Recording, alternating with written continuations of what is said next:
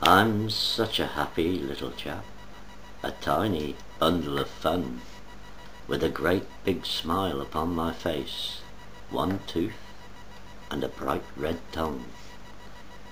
My mummy is so proud of me, she shows me off to all.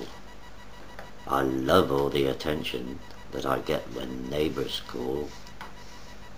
I charm them with my happy smile, I never need a dummy. It's smiles and laughter all the way when I tickle my own tummy.